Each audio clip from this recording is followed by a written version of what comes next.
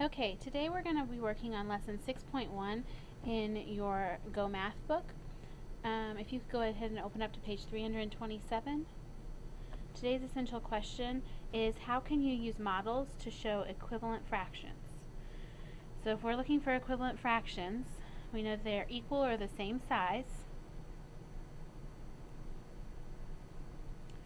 And even though they might be the same size, they may not look the, exactly the same, but they should be always the same size if they're equivalent fractions, okay?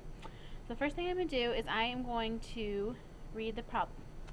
It says, Joe cut a pan of lasagna into third size pieces. He kept one third and gave the rest away. Joe will not eat his part all at once.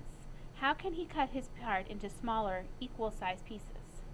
Okay, so first of all, we look down here and they've already given us a fraction of a whole piece. So we're going to imagine that this big rectangle is the lasagna and that they've already um, cut it into three equal pieces. So one, two, three. The blue shaded part is going to be the part that Joe is getting. So we're going to look just at the piece that Joe is eating. First thing we're going to do, um, Draw on the model to show how Joe could cut his part of the lasagna into two equal pieces. So we're just talking about Joe's part, which is just the blue part. So all I'm going to do is I'm going to make two equal pieces. I count down how many I have. One, two, three, four, five, six, seven, eight. Half of eight is four, so I want to make sure that I have four on the top and four on the bottom so that they're equal. Okay? Over here, though, it says, suppose Joe had cut the original pan of lasagna into equal pieces of this size. So if he cut the whole pan of lasagna that way, that means I'm going to extend my line all the way across to the other pieces, too. How many pieces would there be in the whole pan of lasagna? One, two, three, four, five, six. Okay, so what fraction of the pan is one piece? Right now, one piece would be one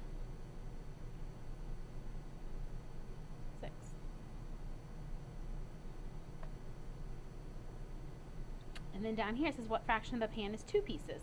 Well, two pieces is just two, but there's still six altogether, so it's two, six. Okay.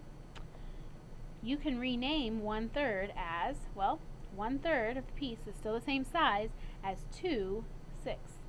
So one third is equivalent to two sixths. Okay, now for part B, what we're going to do is we're going to go down to the bottom and we're going to use the same problem. So the same idea with Joe, a pan of lasagna, and he's getting one third of it. So there's three equal pieces and one third is shaded for Joe. Okay, But this time it says, draw on the model to show how Joe could cut his part of the lasagna into four equal pieces. Okay, So now if I want four equal pieces, I can't give each one four, but I could do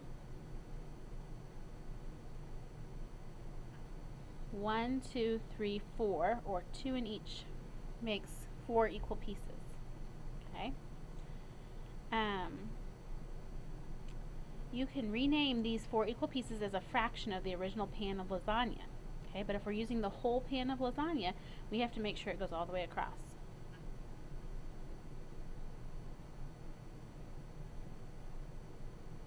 Okay. Suppose Joe had cut the original pan lasagna into equal pieces of this size, so we cut each piece. How many pieces would there be? How many equal pieces? 1, 2, 3, 4, 5, 6, 7, 8, 9, 10, 11, 12. There would be 12 equal pieces. What fraction of the pan is one piece? Well, it's 1 12th. Okay.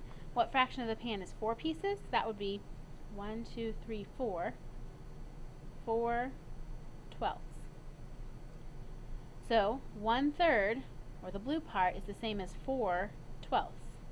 So one third can be renamed as 4 twelfths. Okay? Fractions that name the same amount are equivalent fractions. So in here we found that one third was the same as 2 sixths. And we also found that one third is the same as 1, 2, 3, 4, 4 twelfths. Those are all equivalent fractions. One third is equal to 2 sixths, and 2 sixths is equal to 4 twelfths. Okay, Now we're turning over to page 328 and we're going to use what we did in the investigation on the previous page to draw some conclusions. The first thing that they asked us to do is to compare the models for 1 third and 2 sixths. Okay? How does the number of parts relate to the sizes of the parts? Okay? How does the number of parts relate to the sizes of the parts? So when we go back and look at our model for 1 third and 2 sixths, okay, that's this one up here, one third had less pieces, right? There only three equal pieces, and when I did six, there were six equal pieces, so that's more pieces, but each sixth is smaller than each third. Okay? So if I'm going to draw some conclusions, I'm going to say on the other side that, um, let's see, the model for 2 6 has twice as many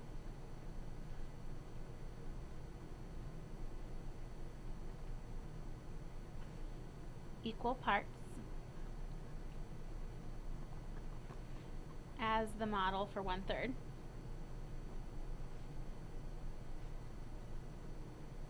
Because six pieces is two times as much as three pieces, so that's why it's twice as many.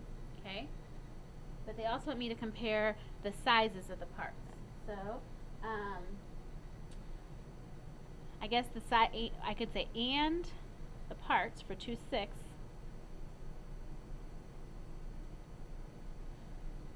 are half the size of the one thirds. They're smaller. So it's double the number of parts, but half the size. Okay. The next question asks me to think about um, how the numerators are related to the denominators. So look at this. It says describe how the numerators are related and how the denominators are related in one third and two sixths. Okay, so if we look at the numerators, those are the numbers on top, 1 and 2. And the denominators are 3 and 6. Okay. Um, well, the first thing I notice is that 1 times 2 equals 2 and 3 times 2 equals 6. So it's like we've doubled them each time. Okay? So a whole divided into 6 has 2 times as many parts because denominators are parts.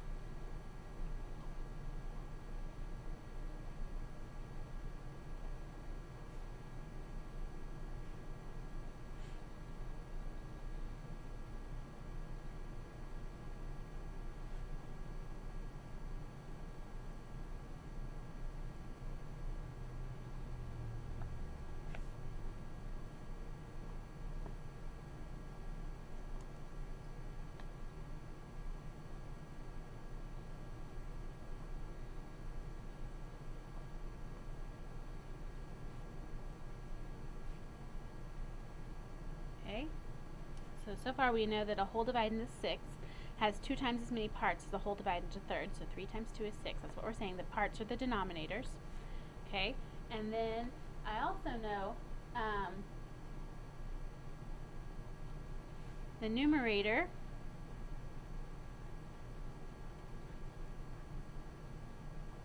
and denominator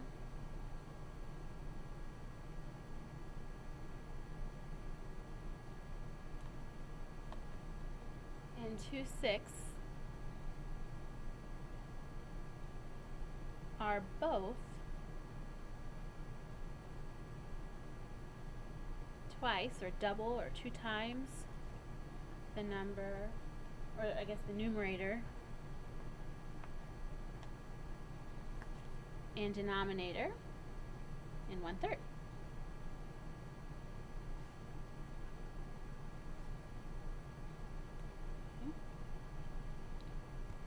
Okay, on the Think Smarter question, number three, we're going to now take what we've learned in the drawing conclusions from 1 and 2 to try to help explain another example of equivalent fractions. Okay, they want to know, does one third equal 3 ninths?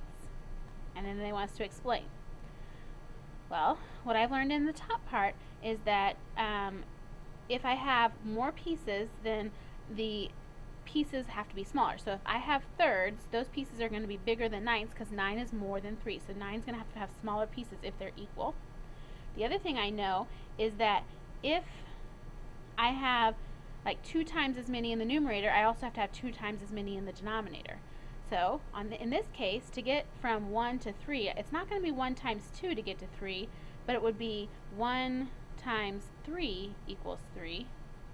Okay, so in order to be equivalent, I think I have to do the same thing to the bottom.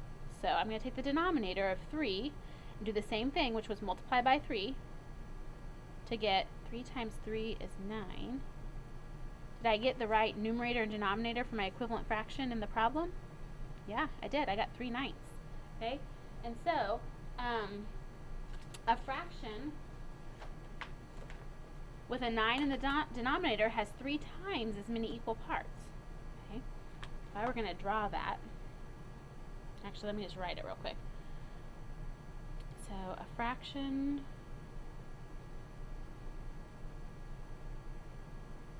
with 9 in the denominator. Oops, I'm going to have to squeeze around my work here.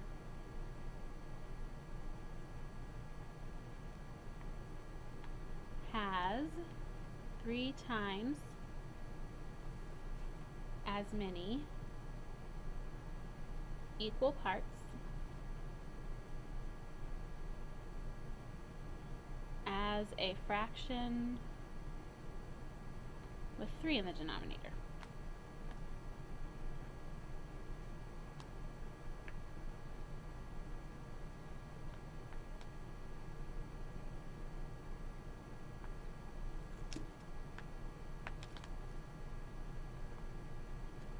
Okay? And if I were to draw a real quick picture of that, I'm just going to draw another grid. I'm going to put it in thirds, okay? A fraction with 9 in the denominator has 3 times as many equal parts as a fraction with 3.